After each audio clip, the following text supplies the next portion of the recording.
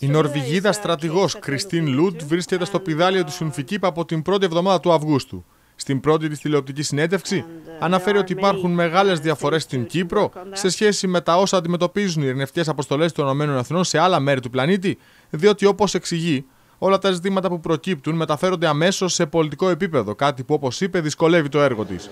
Αποκάλυψε επίσης στον Αντένα ότι η ίδια εξετάζει το θέμα των στροβιλιών και θα ετοιμάσει εισηγήσεις.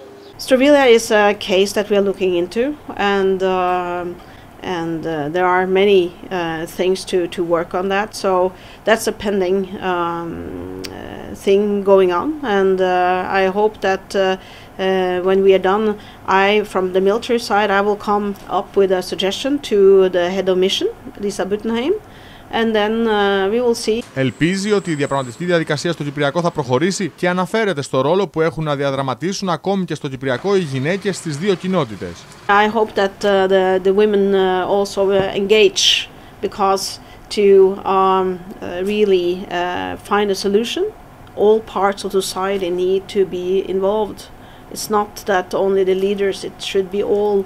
And the wo- the women very often are the ones that are uh, giving birth.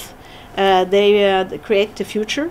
Η Νορβηγίδα στρατηγός υποστήριξε ότι η ίδια η Ινφικίπ αποτελεί παράδειγμα προς τις δύο κοινότητες στην Κύπρο, διότι στην ειρηνευτική δύναμη συνεργάζονται άψογα Αργεντινοί και Βερτανοί ειρηνευτές ή Σέρβοι, Κροάτες και Βόσνοι, ένδειξη ότι αν υπάρχει θέληση μπορεί να υπάρξει συνεργασία.